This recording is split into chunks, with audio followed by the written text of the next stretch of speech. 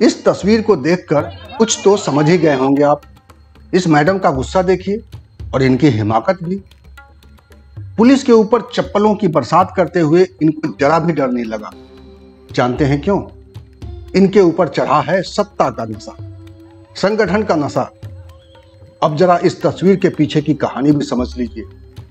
ये कहानी है मथुरा की। ये कहानी है पुलिस के साथ बदसलूकी की।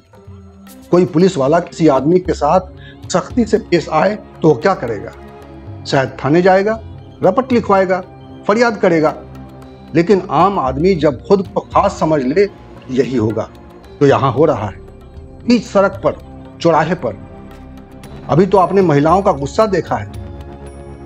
अब जरा नौजवानों का गुस्सा भी देख लीजिए। अरे ये नौजवान क्या? ये तो किशोर है। अभी तो मुझे भी नहीं आई। लेकिन जरा इनके तेवर तो देखिए। नशा करने की उम्र भले ही ना हो, लेकिन सत्ता का नशा तो बिना उम्र पूछे क्या जाता है। पुलिस से सीधे भिड़ने की ज़रूरत कर रहे इन किशोरों को पता है कि कुछ नहीं होगा। कुछ लोग इनके साथ हैं, कुछ ताकत उन्हें बचा लेंगी।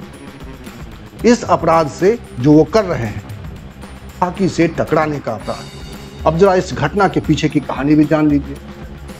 आरोप है कि शनिवार की सुबह पुलिस और संघ के प्रचारक के साथ यमुना नदी में स्नान करने को लेकर विवाद हो गया। विवाद इतना बढ़ गया कि पुलिस कर्मियों ने संघ पदाधिकारी के साथ अभद्रता कर दी, मारपीट कर दी। यह भी आरोपी है, लेकिन खबर जैसे ही भाजपा और संघ कार्यकर्ताओं तक पहुँची, उनका गुस्सा सातवें आसमान पर पहुँच गया। सरकार उनकी है, वे चाहते तो पुलिस वालों पर कड़ी कार्रवाई हो सकती लेकिन उनको सब का वे तो सीधे फैसला करने के मूड में थे। और इस तरह उनका फैसला मथुरा की सड़क पर सरेआम दिखाई देने लगा। भाजपा की एक महिला कार्यकर्ता को तो इतना गुस्सा आ गया कि उन्होंने कोतवाल को ही चप्पल मार दिया युवकों ने भी बीच सड़क पर पुलिसकर्मियों के साथ हाथापाई मारपीट और जो कुछ हो सकता था वह सब किया। अब इस पूरे मामले में विपक्ष को सरकार को घेरने का मौका मिल गया है। कानून व्यवस्था का सवाल उठाया जा रहा है। समाजवादी पार्टी ने इसको ट्वीट किया है। और इस पूरी घटना के बारे में समाजवादी पार्टी के ट्वीट के साथ वीडियो जो इस वक्त आपके स्क्रीन पर है, ये वीडियो आप उन्हीं के सहयोग से देख पा रहे हैं। जो भी हो, उत्तर प्रदेश की ये तस्वीर अच्छी नहीं है। होली के मौके से होली के मौके पर इस तरह की तस्वीर की उम्मीद हम नहीं मथुरा से कर रहे थे। हम उम्मीद ये कर रहे थे कि मथुरा में जो होली होती है, उसकी तस्वीर हमारे सामने आएगी। लेकिन जो मथुरा ने तस्वीर दिखाई है, पूरे प्रदेश को, देश को यह तस्वीर अच्छी नहीं है। खाकी के साथ इस तरह का सलूक अच्छा नहीं।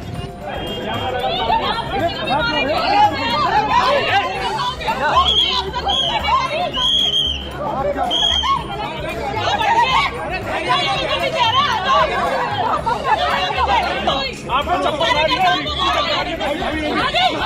चप्पल मारी है?